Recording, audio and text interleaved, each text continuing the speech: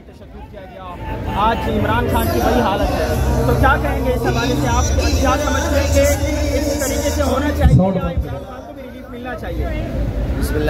रहीम देखिए, हमारा दौर, हम जो बाहर निकले थे, इमरान खान के दौर में वो नामों से के लिए था। आज जो इमरान के साथ हुआ है और इमरान खान के साथ जो कुछ हो रहा है, ये मुकाफात अमल है।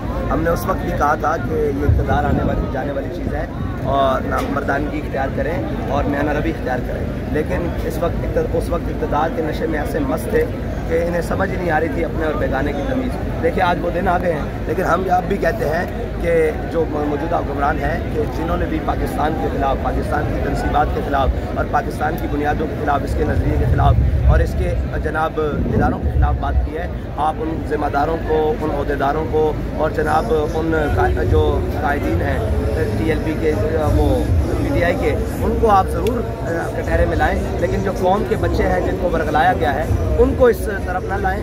उन्होंने तो जनाब एक शख्स के पीछे अपनी फ्रस्ट्रेशन जो गुरबत महँगाई और बदमनी के जनाब पार्टों में पिस रहे थे, उन्हें ये नज़र आया कि इमरान खान शायद मसीहा बन जाए। लेकिन ऐसा नहीं साबित हुआ। इमरान खान तो गद्दार वतन साबित हुआ और गद्दार कौम साबित हुआ और अपनी रिहाई के लिए उसने पूरी कौम को और पूरी पाकिस्तान को आग लगवा दी। और अब जब दूसरी बात आई है, जब बारों की बात आई है तो अब कहता है कि मेरा खिलाफ कौन से ताल्लुक नहीं है भाई। वो सारे आपके ही लोग थे। जिन्होंने ये किया, आप ये कहें कि ये हमारे बच्चों से गलती हुई है या आपने उनको सबक पढ़ाया सुबह शाम कि ये लोग ऐसे हैं, ये लोग ऐसे हैं। दूसरी तरफ़ भी यही मामला हैं। पी के लोग जाके जनाब वो सुप्रीम कोर्ट का घेराव कर रहे हैं, दरवाजे पलांग रहे हैं और जनाब रियासत की नाक के नीचे और पुलिस के नीचे। तो मुल्क में दो कानून नहीं होने चाहिए, सबके लिए कानून बराबर होना चाहिए।